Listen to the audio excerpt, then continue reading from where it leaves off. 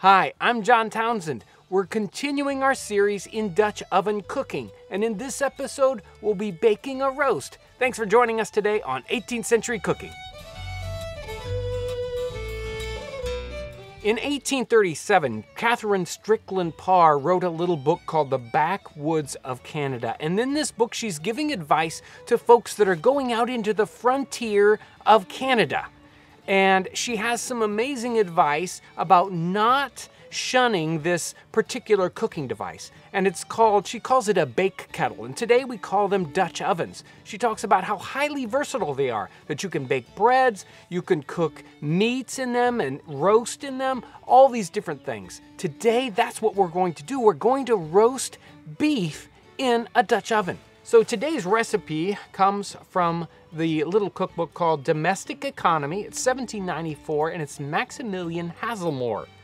And this recipe is called uh, rump au ragout. Basically, we know it as pot roast. So the ingredients we're using today really haven't changed. It, it's basically just like a pot roast you would do today. I've got a two and a half pound rump roast and we've got carrots and onions. Uh, so you know, let's put this together. Let's season this with salt and pepper on all the different sides. Now, dredge this in a little bit of flour. Okay, this looks good. Let's brown it in the pan. Okay, let's get this pan nice and hot to brown this. Uh, this is already probably pretty much up to temperature. Let's toss in some of our butter here. Yeah, it's hot. And here goes the meat.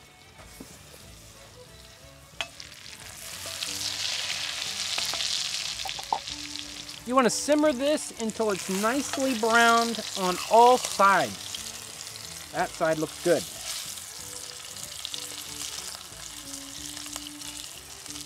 Now that our meat is browned on all sides, I can remove it from the pan and deglaze the pan. And I'm doing this with cider. The original recipe actually calls for the use of small beer, but of course you really can't find that today, so cider is gonna work fine for this. Uh, I'm using maybe a cup or two here and just uh, scraping all the gunk off the bottom of the pan.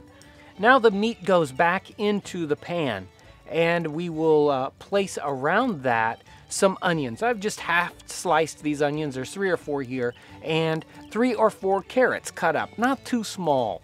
Now we can put in this special little onion. You see, you see this uh, onion here, it's an onion that's got cloves in it. This is very, very common uh, in 18th and 19th century uh, um, recipes. And we'll just toss this in right up on top. And now in go some herbs. I've got thyme and rosemary. We'll put those right up on top. Next comes beef broth. I'm gonna pour this until it's maybe two thirds the way up the side of the roast or so. That looks good. Now we can put the lid back on and we're not going to put it back on the fire, but we're going to put it on a very regulated, a very controlled area. We want this to just bake at say 300 to maybe 350 degrees tops. So we don't want to just set it on the fire. It would cook too, too quickly. We want this to take three hours to cook. Now it's time to get this cooking area ready to uh, bake. I'm gonna put a layer of coals down first. This is uh, a little more than I would normally put down because this ground is wet, but uh, these will probably die off pretty rapidly and we're gonna have to come back and check. Now that that's in, let's lay the oven on top of those and now I'm gonna put in a layer of coals on top of the lid. Now, it's just a little bit, right around the outside edge. We don't want to just heap this up. It'll get way too hot.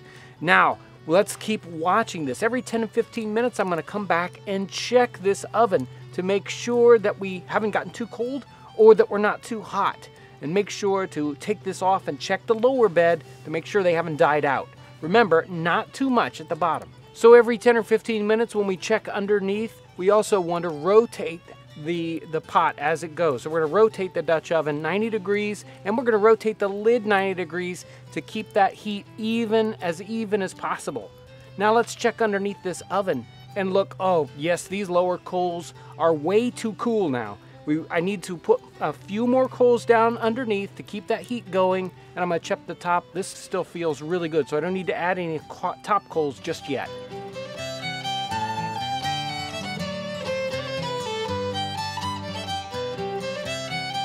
Our beef has been uh, in the Dutch oven for well over three, three hours and it's very done.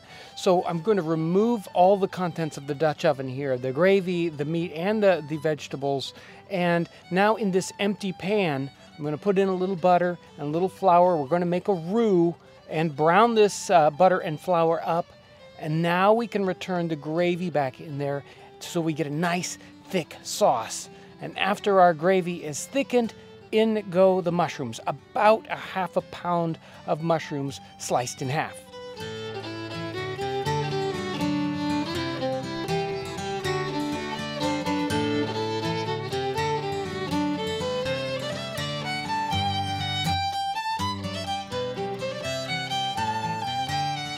Well, this is, it smells terrific. It smelled terrific the whole time uh, while we were waiting for it to be done. It looks wonderful. Uh, mushroom ketchup is one of those things that we could have even put into the gravy. I'm gonna put a little bit up on top because I know that'll add just, just a little bit that I really love. There we go. And now let's give it a try. Hmm. The meat was done to perfection. Nice and tender and um, all the vegetables are nice and tender too, but not not mushy. Um, and that mushroom ketchup goes perfectly with this kind of a dish. This is wonderful and simple.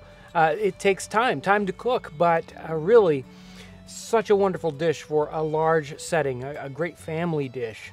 Wonderful. This came right out of the Dutch oven. Do not be afraid to try uh, using the Dutch oven for dishes like this very simple, um, and works perfectly. I, I want to thank you for coming along as we you know, continue to, to try these things out, as we continue to savor the flavors and the aromas of the 18th century. If you're new to our channel, I want to welcome you. Uh, you can subscribe by clicking the button right up here. Uh, also check out our related videos. Thanks so much for watching.